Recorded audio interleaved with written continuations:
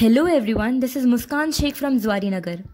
As you all can see, the number of houses in this slum area have mostly the daily wage workers or the laborers.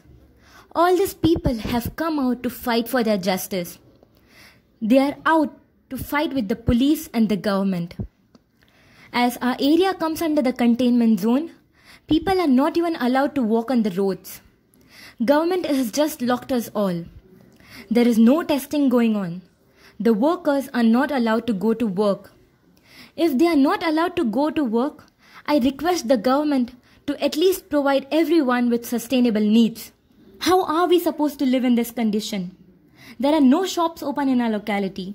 I would request the government to either start testing and unlock us or provide each and every needy person with the requirements. Thank you. Also, I'm shooting this video from my terrace as I'm not allowed to go there. I hope my voice reaches to the government.